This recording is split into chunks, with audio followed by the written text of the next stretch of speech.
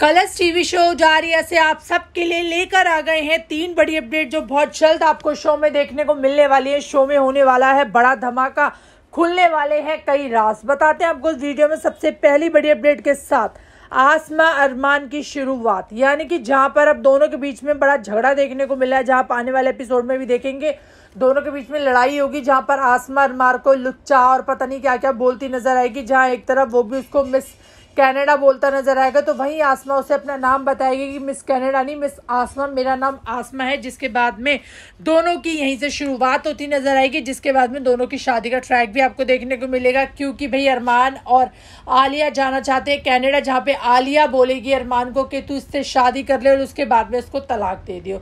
तो यहाँ से होगी दोनों की रिश्ते की शुरुआत। बात करें नंबर दो एपिसोड नंबर दूसरी अपडेट की तो दूसरी अपडेट होगी, खुलेगा बीस साल पुराना राज। आसमा के सामने क्या हकीकत बीस साल पहले क्या हुआ था? जिसकी वजह से घर वाले करते हैं, दीपक से नफरत, उसके घर वालों से नफरत करते हैं।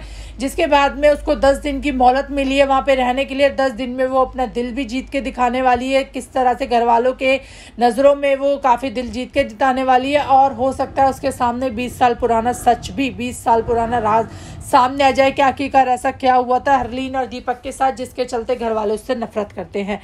नंबर तीसरी बात की बात करें तो नंबर तीसरी अपडेट जो है, आलिया के सामने आएगी हरलीन की सच्चाई कि। हरलीन वहाँ अकेली नहीं रहती है, जहाँ पे वो हरलीन को काफ़ी बेचारी समझती है, जहाँ उसके सामने सच आएगा कि आसमा है हरलीन की बेटी, आसमा है हरलीन की दूसरी बेटी और एकम की बेटी।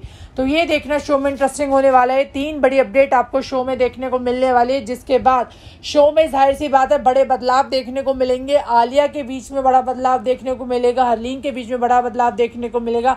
आसमा, एकम सबके बीच में बहुत बड़े इनकी लाइफ में चेंजेस देखने को मिलने वाले हैं। तो कितने एक्साइटेड हैं आप? कमेंट सेक्शन में ज़रूर बताइए। आने वाले ट्रैक के लिए साथ ही हमारे चैनल को सब्सक्राइब करिए ऐसी लेटेस्ट अपडेट के लिए।